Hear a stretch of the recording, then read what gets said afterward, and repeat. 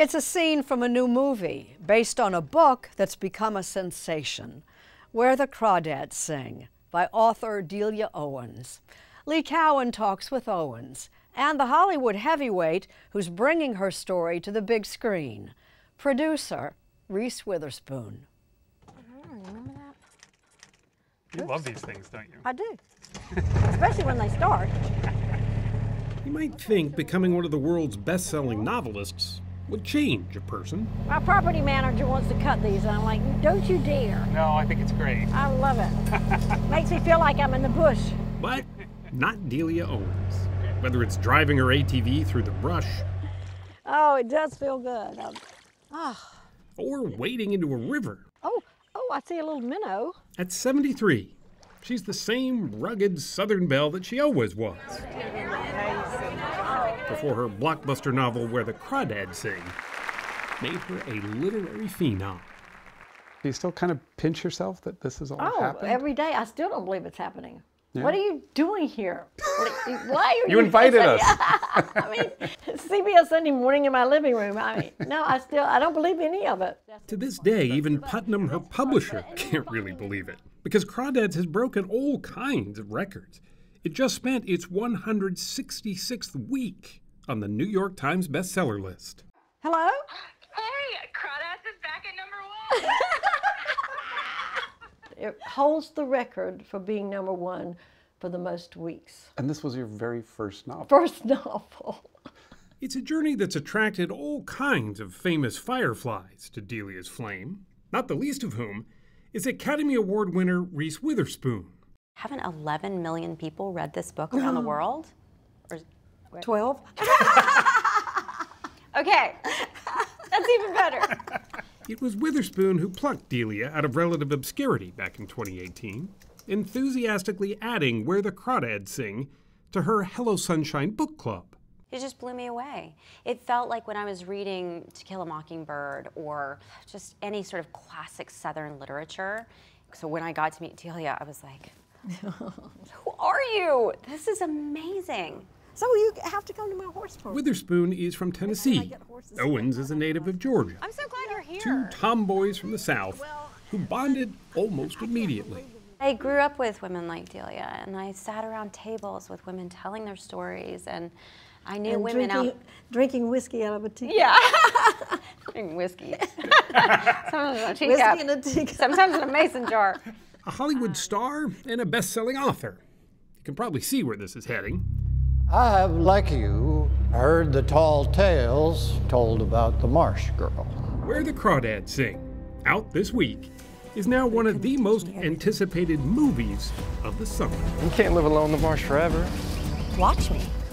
Shot along the coast of Louisiana, the film follows Owens's main character, Kya, a young girl left to raise herself in the marshes of North Carolina. I'd been out in the marsh plenty of times with Jody, but never alone. And then she layers on this thriller element. There's a murder. There's no fingerprints on the railing. Great nothing. The Marsh girl. She killed him. I would have. I would have loved to have been Kya. You would have been a great guy. I'm a little too old, but that's part of what I loved about it. Is like that's the kind of movies I want to make. I want to be like, I want to be that character. I know what to do. Witherspoon had her hands full just producing the movie. So, up and coming British actress Daisy Edgar Jones was cast in the role of Kya. You can capture the tone or the essence or the feeling that you have when you read a book, that's the main thing, really. You want me to beg for my life? I don't have it in me. I won't. I will not offer myself up. They can make their decision.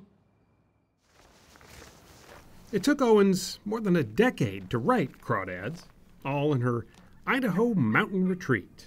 That's where we first met her, back in 2019. Do you get lonely out here? I, I do. But you I like get so lonely sometimes I feel like I can't breathe. As a wildlife scientist, she spent years in some of the most remote parts of Africa. Being alone nourishes her in the same way that the nature around her does, especially in a marsh. I feel at home when I'm in a place like this. Yeah. You can put me in the middle of a desert or in the middle of mountains. When I'm out away from everything else, I feel like I'm home. Her novel was born out of those same feelings. A true labor of love, she says, that's reflected in the film. They invited me to come to the set. They took me through the woods, we rounded this bend through the forest, and there's this Kya shack on this lagoon, and it looks exactly like I wrote it in the book. There's Kya shack. Then they start talking, and my words come out. Am I your girlfriend now? Do you want to be? I know feathers. But the other girls don't know feathers. All right then. It was the most surreal. It was part real, part invented or created, and yet it, it, that's what a movie does. You know, it was just bringing all these elements together. It was beautiful. That said, she was always anxious to get back to the things she knew It has great molars there for chewing. bugs and critters, all under a gentle canopy of trees. This is where Kya would have been. This is what Kya loved, being out in the wild, in the forest, in the among nature. Since our last visit, she traded the wintry woods of Idaho Look at this. Wow. Look at that. for this the rolling hills of North Carolina. Have deer, a lot of groundhogs, turkeys. We have bears. There's a bear along the river who has three little cubs. Really? Yes. It's an old historic horse farm. Should have three or four. Delia plans to have a few herself, to ride off and get lost in it all, where bears or no bears, she does her best work. Do you write out here? I well, I didn't bring you today, but I always bring a little uh, pad and a, a paper and a pen, because yes, how can you not write out here? I'm fairly sure that pavement, tarmac, hardens the heart and softens the brain. If that sounds like she's writing her next book, well, she is. The pink ones are the 1800s. She's on her third draft. Is it harder though? Does It's feel like harder you're- because I feel the pressure and the expectations are high.